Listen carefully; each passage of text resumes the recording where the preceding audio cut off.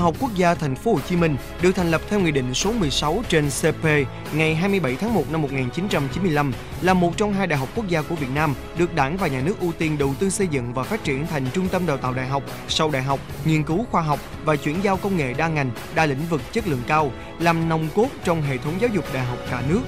Hiện nay, Đại học Quốc gia Thành phố Hồ Chí Minh đang tiếp tục được xây dựng và hoàn thiện trên diện tích 643 ha, hình thành một khu đô thị đại học hiện đại và phát triển, bao gồm 35 đơn vị, trong đó có 7 đơn vị thành viên với 6 trường đại học thành viên, một viện nghiên cứu thành viên và gần 30 đơn vị trực thuộc khác. Với quy mô đào tạo gần 60.000 sinh viên đại học và hơn 7.500 học viên sau đại học, Hàng năm, Đại học Quốc gia Thành phố Hồ Chí Minh cung cấp cho xã hội hơn 10.000 kỹ sư, cử nhân chất lượng cao, trên 1.500 thạc sĩ và khoảng 50 tiến sĩ thuộc hầu hết các lĩnh vực, ngành nghề mà xã hội đang cần, góp phần thúc đẩy sự nghiệp công nghiệp hóa, hiện đại hóa đất nước và hội nhập quốc tế. Chúng tôi ờ, luôn tâm niệm rằng Đại học Quốc gia Thành phố Hồ Chí Minh phải là một cái trung tâm, phải là một cái hấp thu hút nhân tài, hội tụ tri thức xuất sắc trong ờ, đào tạo và nghiên cứu khoa học phải là một cái đô thị sáng tạo phải là nơi um mầm tài năng cho đất nước. Theo đó, Đại học Quốc gia Thành phố Hồ Chí Minh luôn tạo điều kiện tốt nhất cho giảng viên này, cho các nhà khoa học này, cho sinh viên này, cho học viên sau đại học tham gia nghiên cứu khoa học, chuyển giao công nghệ, phát triển và thương mại hóa các kết quả nghiên cứu, chú trọng khơi dậy các ý tưởng sáng tạo của sinh viên, của học viên cao học phục vụ thiết thực và hiệu quả cho cộng đồng và cho xã hội.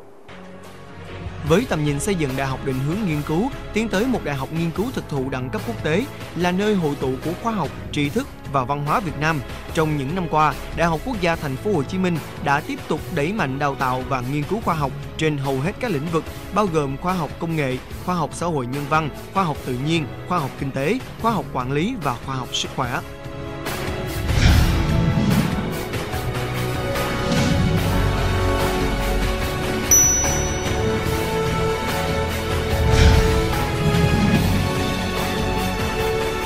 Sự hội nhập của Việt Nam vào nền kinh tế toàn cầu thông qua gia nhập WTO năm 2007 và Cộng đồng Kinh tế ASEAN năm 2015 đặt ra yêu cầu ngày càng lớn đối với các cơ sở giáo dục Việt Nam để đào tạo một lực lượng lao động có tay nghề cao, đáp ứng nhu cầu phát triển kinh tế xã hội của đất nước. Yêu cầu này đòi hỏi đổi mới chương trình đào tạo, phát triển hệ thống đảm bảo chất lượng và quy trình kiểm định chất lượng. Từ năm 2010, các chương trình đào tạo của Đại học Quốc gia Thành phố Hồ Chí Minh đã thực hiện phát triển theo cách tiếp cận mô hình CDIO trên cơ sở áp dụng các nguyên lý CDIO và phát huy sức mạnh hệ thống. Đại học Quốc gia Thành phố Hồ Chí Minh đã xây dựng mô hình cải tiến chương trình đào tạo, xây dựng và triển khai đề án triển khai thí điểm CDIO tại một số khoa của các trường đại học thành viên và từng bước mở rộng áp dụng cho các khoa khác cũng như các cơ sở đào tạo khác trong cả nước. Chương trình CDIO nó là một chương trình uh, rất là khác biệt so với cái lối giáo dục truyền thống của chúng ta đó giờ. Uh, học CDIO thì sinh viên tụi em có nhiều cái cơ hội hơn, uh, cơ hội để thảo luận, trao đổi với vấn đề làm việc nhóm, tìm hiểu vấn đề theo nhiều góc nhìn kỹ hơn và sâu sắc hơn. Um, học những cái khóa học CDIO nó nó luôn tạo cho tụi em một cái không khí học tập rất là sáng tạo và nó giúp cho tụi em rất là Ờ, em cảm thấy là em cũng một cái vấn đề đó nhưng mà với cách học truyền thống thì học CDIO tụi em tiếp thu được vấn đề nhiều hơn và hiệu quả và tích cực hơn. Khi mà học CDIO thì khi mà tụi em được giảng viên hướng dẫn về cái vấn đề thì tụi em luôn phải thứ nhất là làm việc nhóm. À, tụi em phải làm việc nhóm tụi em phát triển vấn đề tụi em tìm hiểu vấn đề à, nhìn vấn đề theo nhiều hướng khác nhau và phát triển vấn đề đó lên. Thì đó là những cái giá trị mà CDIO nó giúp tụi em hơn so với cái chuyện học truyền thống. Và học CDIO thì mình nhìn được vấn đề từ nhiều cái bước chứ không phải là đó giờ chứ mình không chỉ nhìn theo một chiều mình nhìn nó theo nhiều chiều mình nhìn nó vấn đề nó xuất hiện như thế nào nó phát triển như thế nào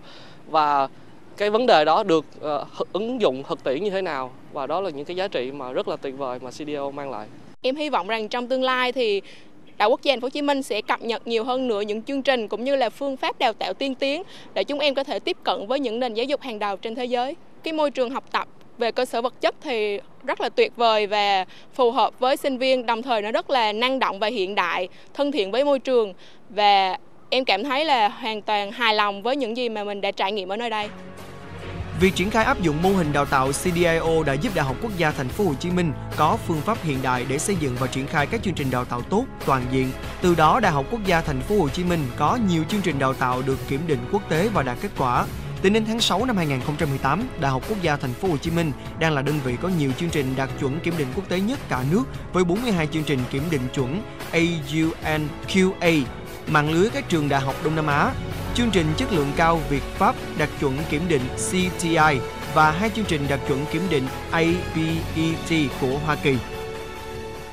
Khi mà triển khai một cách đồng bộ và xây dựng đề án một cách khoa học và mang tính thống nhất thì cái đề án này có một cái tác động rất là lớn đến với cả cái phương pháp giảng dạy,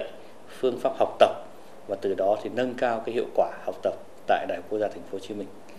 À, từ cái việc mà thiết kế chuẩn đầu ra đến xây dựng chương trình đào tạo theo chuẩn đầu ra đến triển khai chương trình và đánh giá kết quả đúng theo chuẩn đầu ra nó tạo ra một cái mối liên kết liền mạch trong cái việc xây dựng triển khai đánh giá chương trình và từ đó là hiệu quả chương trình được phát triển lên và cái mà chúng tôi nhận thấy mà cái thành quả mà lớn nhất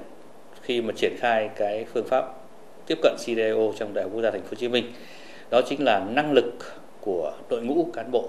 của đội ngũ giảng viên đã được nâng lên một cách đáng kể.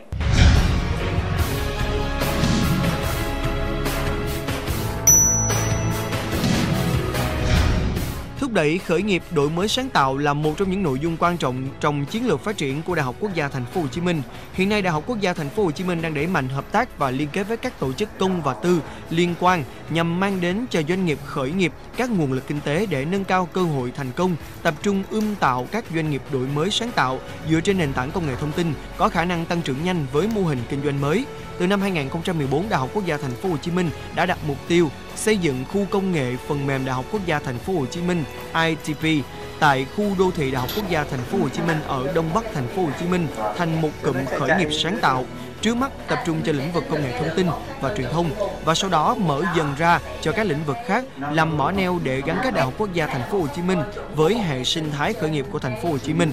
Đến nay, khu công nghệ phần mềm Đại học Quốc gia Hồ Chí Minh đã và đang trực tiếp hỗ trợ 40 dự án khởi nghiệp với khoảng 1 phần 3 số dự án này đã được gọi vốn đầu tư ươm mầm, seed fund, Re-Serie A. Các dự án khởi nghiệp này trực tiếp tạo ra 300 việc làm và là môi trường thực tập của hàng trăm sinh viên mỗi năm. Đặc biệt vừa qua công ty Mimosa Tech được chọn là một trong ba dự án xuất sắc nhất đứng sau hai dự án của Singapore tại Demo Day về các giải pháp cho thành phố thông minh do Quỹ sáng kiến khởi nghiệp vùng Mekong MPI tổ chức bên lề Ngày hội khởi nghiệp đổi mới sáng tạo Việt Nam 2017. Về Mimosa Tech thì chúng tôi chuyên về các giải pháp nông nghiệp công nghệ cao, điều khiển tưới tiêu tự động hóa và các thiết bị cảm biến. Thì hiện tại thì Mimosa Tech cũng bắt đầu ở khu ITP từ những ngày đầu thì khu ITP chính là nơi mà chứng kiến cái sự phát triển của Mimosa Tech từ những lúc mà bắt đầu sáng tạo ra sản phẩm cho đến lúc các giải pháp được thương mại hóa. Thì hiện nay giải pháp của Mimosa Tech cũng đã được ứng dụng ở nhiều tỉnh thành trong cả nước thì hỗ trợ cho bà con nông dân có cái việc sản xuất nông nghiệp được hiện đại và hiệu quả hơn. Thì hiện nay về các giải pháp à, giúp à, tưới tiêu chính xác tự động của Mimosa Tech thì có thể giúp các nông hộ có thể tiết kiệm lượng nước sử dụng tới 30% cũng như lượng điện năng nhưng mà cái năng suất á, nó cũng tăng lên khoảng 20% và đặc biệt á, là giúp giảm cái công lao động thì giúp cho bà con nông dân có thể mà làm cái việc làm nông nó nhàn hơn nhưng mà năng suất hiệu quả kinh tế nó lại cao hơn. Thành lập từ tháng 9 năm 2015 với văn phòng đầu tiên ở Singapore, bắt đầu tham gia vào hệ sinh thái khởi nghiệp của Đại học Quốc gia từ giữa năm 2016, mang trong mình tinh thần khởi nghiệp Gcons, mong muốn tạo ra một nền tảng dịch vụ công nghệ kết nối với nhiều hệ thống thông tin nhất ở châu Á Thái Bình Dương, giúp các doanh nghiệp SMEs dễ dàng mở rộng thị trường quốc tế. Sản phẩm chủ lực của Gcons hiện tại là ứng dụng thông minh và giải pháp gọi tích hợp cho tổng đài chăm sóc khách hàng của doanh nghiệp thay thế hoàn toàn chiếc điện thoại bàn truyền thống trong mỗi văn phòng. Giải pháp này nó sẽ uh, giúp cho nhà quản lý có thể uh, theo dõi được cái quá trình hoạt động của các bạn cũng như là đánh giá được cái chất lượng chăm sóc của các bạn nhân viên dựa vào cái thống kê ghi âm những cái thông tin như vậy thì giải pháp điện thoại bàn truyền thống không thể nào làm được. Gcon may mắn tham gia chương trình Sắc Tăng từ ờ, năm 2017 năm ngoái. Thì ờ, được ờ, chị Linh chị Sát Linh um, cam kết đầu tư một triệu đô. Thì cho đến nay cái cái quá trình um, thương thảo vẫn vẫn đang được tiếp tục. Và tuy nhiên sau chương trình sắc tăng thì Con đã nhận được vô cùng nhiều sự quan tâm của các uh, uh, kiểu như là các doanh nghiệp khách hàng mà họ quan tâm đến giải pháp. Do đó là cái tốc độ tăng trưởng nó uh, rất là uh, nhanh chóng vượt bậc trong năm 2018, Đại học Quốc gia Thành phố Hồ Chí Minh đã thành lập Quỹ khởi nghiệp Đại học Quốc gia Thành phố Hồ Chí Minh nhằm nâng cao nhận thức cho sinh viên về khởi nghiệp cũng như tăng cường năng lực hoạt động khởi nghiệp cho các vườn ươm doanh nghiệp và thành lập Trung tâm khởi nghiệp đổi mới sáng tạo Đại học Quốc gia Thành phố Hồ Chí Minh làm đầu mối điều phối hoạt động hỗ trợ khởi nghiệp trong toàn Đại học Quốc gia Thành phố Hồ Chí Minh. Mô hình hệ sinh thái khởi nghiệp của Đại học Quốc gia Thành phố Hồ Chí Minh nó tương đối là đặc thù à, vì chúng ta là đại học và cái vai trò của đại học đó là phát triển con người. Và trong hệ sinh thái khởi nghiệp đổi mới sáng tạo thì cái uh, hạt nhân cái chủ thể quan trọng nhất đó là các cái uh, doanh nhân khởi nghiệp tiềm năng. À, có tư duy sáng tạo có khả năng uh, nghĩ ra những cái giải pháp uh, đột phá để giải quyết các vấn đề của xã hội. Thế thì vai trò của đại học quốc gia thành phố hồ chí minh là kiến tạo một cái môi trường à, để phát hiện và bồi dưỡng những con người đó. À, Ờ, chúng tôi không đặt trọng tâm à, ở cái việc là có bao nhiêu dự án khởi nghiệp thành công à, thông qua cái hoạt động hỗ trợ khởi nghiệp tại, tại khu công nghệ phần mềm đại quốc gia. Mà điều chúng ta chúng tôi quan tâm đó là có bao nhiêu doanh nhân khởi nghiệp Việt Nam đã được phát hiện và bồi dưỡng ở cái môi trường này. Sau 5 năm triển khai đấy thì đại học quốc gia cũng có những cái sản phẩm phụ ờ, đáng để để tự hào. Chúng ta có thể nêu tên các cái doanh nghiệp như là Mimosa Tech Ờ, cũng đã gọi vốn đầu tư được các quỹ đầu tư nước ngoài, hay là Gcon ờ, hay là iFactory, hay là Ami đây làm về các cái giải pháp về à, số hóa và giải pháp cho đô thị thông minh. Và nhiều cái à, ờ, câu chuyện thành công khác. Thì đến nay thì tại à, khu công nghệ phần mềm đại quốc gia đã tập trung hơn 40 các cái dự án khởi nghiệp ở các giai đoạn khác nhau. Chúng tôi đặt mục tiêu đến năm 2020 thì nơi đây sẽ có khoảng 100 à, doanh nghiệp khởi nghiệp lớn nhỏ và sẽ tạo ra khoảng 2.000 việc làm và là nơi à, để thực tập cho khoảng 2.000 à, sinh viên của Đại học Quốc gia mỗi năm.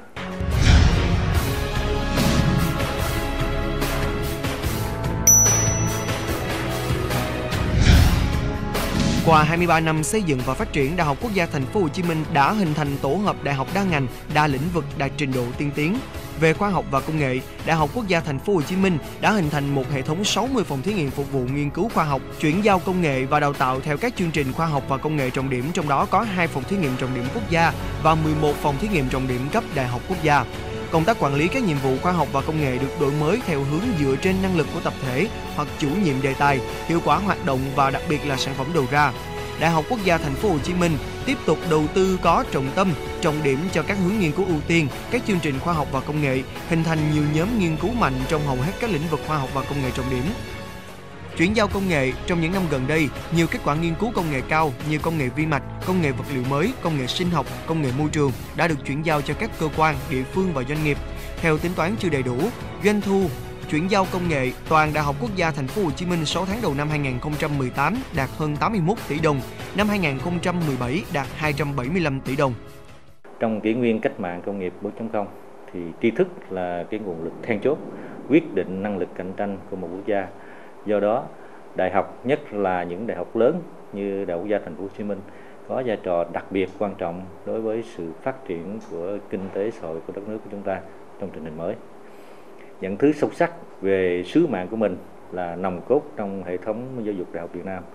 Đại học Quốc gia Thành phố Hồ Chí Minh luôn tiên phong đổi mới và sáng tạo trong hoạt động đào tạo và nghiên cứu khoa học,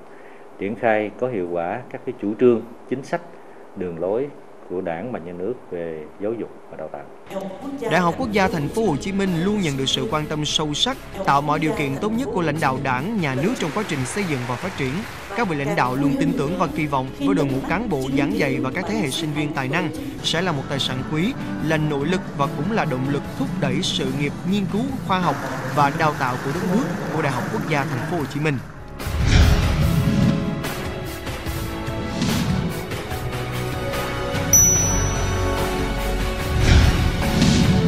Vị thế bao gồm nhiều trường đại học, viện nghiên cứu lớn có uy tín, trong nhiều năm qua Đại học Quốc gia Thành phố Hồ Chí Minh đã thiết lập và mở rộng quan hệ hợp tác quốc tế, tạo điều kiện thuận lợi cho việc triển khai các chương trình liên kết, góp phần nâng cao uy tín, vị trí của Đại học Quốc gia Thành phố Hồ Chí Minh, khẳng định hệ thống giáo dục đại học Việt Nam trong hệ thống giáo dục đại học thế giới, đồng thời tăng cường năng lực, cơ sở vật chất và chất lượng trong toàn Đại học Quốc gia Thành phố Hồ Chí Minh. Hình ảnh và uy thế của Đại học Quốc gia Thành phố Hồ Chí Minh đã được nâng cao thông qua các hoạt động xây dựng mạng lưới đối tác và đẩy mạnh hợp tác quốc tế với các trường đại học lớn tại Hoa Kỳ, châu Âu, châu Á. Đáng lưu ý, theo bảng xếp hạng QS Asia 2017-2018, Việt Nam có 5 đơn vị lọt vào top 400 trường đại học hàng đầu châu Á. Đại học Quốc gia Thành phố Hồ Chí Minh được xếp thứ hạng 142, tăng 5 bậc so với năm 2016. Đặc biệt 2018, hai đại học quốc gia đã trở thành hai đại học đầu tiên của Việt Nam lọt vào top 1.000 đại học xuất sắc nhất thế giới do tổ chức xếp hạng QS Anh Quốc công bố. Trong đó Đại học Quốc gia Thành phố Hồ Chí Minh đứng trong nhóm 701 đến 750. Đại học gia Thành phố Hồ Chí Minh chú trọng nâng cao chất lượng đào tạo theo hướng chuẩn hóa về chương trình và nội dung giảng dạy. Thực hiện nghiêm cái quy trình kiểm tra, đánh giá chất lượng đào tạo. Bên cạnh đó, Đại học Quốc gia Thành phố Hồ Chí Minh luôn không ngừng tìm kiếm những cái giải pháp đột phá để nâng cao cái chất lượng đào tạo của mình. Đại học Quốc gia Thành phố Hồ Chí Minh và Đại học Quốc gia Hà Nội vinh dự được đứng trong top 1000 của các trường đại học tốt nhất trên thế giới đây là minh chứng cho sự đúng đắn của các cái chủ trương, chính sách của đảng và nhà nước về việc xây dựng và phát triển cái mô hình đại học quốc gia ở Việt Nam chúng ta. Và đây cũng chính là những cái thành quả của quá trình nỗ lực không ngừng nghỉ của toàn hệ thống Đại học Quốc gia Thành phố Hồ Chí Minh. Trong suốt quá trình xây dựng và phát triển Đại học Quốc gia Thành phố Hồ Chí Minh có những đóng góp đối với hoạt động đổi mới sáng tạo của hệ thống giáo dục Việt Nam, phát huy những thành quả đã đạt được. Đại học Quốc gia Thành phố Hồ Chí Minh tiếp tục xây dựng đội ngũ các thầy cô giáo, cán bộ quản lý có trình độ cao, có phẩm chất đạo đức trong sáng, tâm huyết, mở rộng quan hệ quốc tế, quan hệ nghiên cứu khoa học và liên kết đào tạo với các trường đại học, viện nghiên cứu trong nước, đẩy mạnh xã hội hóa, giáo dục đào tạo, đào tạo nguồn nhân lực chất lượng cao, đáp ứng yêu cầu của đất nước trong thời đại mới.